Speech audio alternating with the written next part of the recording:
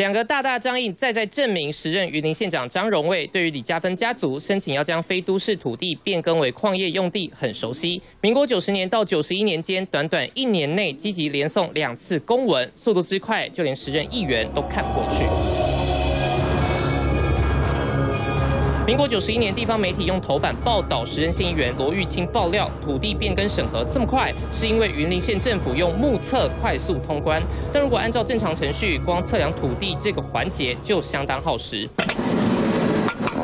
两到四人一组前往测地，要先引用资料，在地上设立图根点，就架设全测站经纬仪。栋三六栋。无线电呼叫对方，确认机器设置到位，就能开始测量土地建筑物。之后回公司再把资料传进电脑整理。若是农牧用地，还要测等高线及水准测量，步骤更繁琐。到我们的图根测量跟地形测量完成，至少应该要到半年左右的时间以上。目测应该是不会有啦。那早期的部分，其实如果在经纬仪之前的话，就是用平板去测量啦。在一百零六年之前，变更地目相当耗时，要先写新办事业计划书，附土地资料变更说明、水保计划等等。测地资料也在第一步骤就要完成，之后写开发计划，送交县府核准。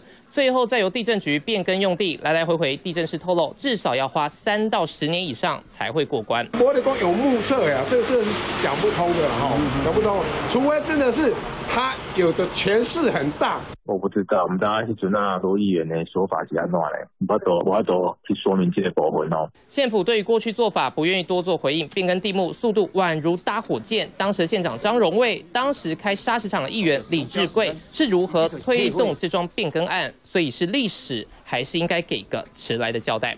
三新五唐小亮宝新北报道。